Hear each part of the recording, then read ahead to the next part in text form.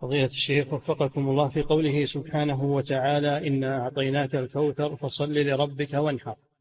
هل يؤخذ منها أن من رزق شيئا أو أتاه خير من الله أنه يشرع له أن يصلي نافلة؟ شكرا لله وأن يذبح لله لأجل هذا الأمر. أخذا من الآية؟ لا ما يؤخذ منها هذا. ولكن من رزق شيئا من المال يتصدق منه.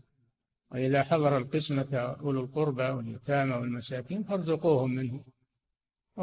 فارزقوهم منه وقولوا لهم قولا معروفا. يتصدق منه هذا هو شكره. نعم.